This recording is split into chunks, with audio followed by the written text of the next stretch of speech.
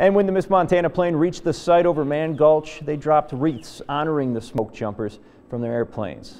At the Meriwether Campground, the U.S. Forest Service hosted a picnic and barbecue. Family members of the smoke jumpers joined historians and members of the public in sharing the stories of those brave men and honoring their sacrifice. Carol Nepner of Missoula is the niece of fallen smoke jumper uh, Eldon Diettert. She says events like today help her a little bit better to know her uncle, even though she never got to meet him.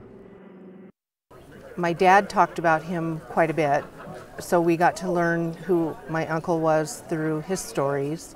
And this is just one way to continue to carry on that legacy of him and all of the smoke jumpers.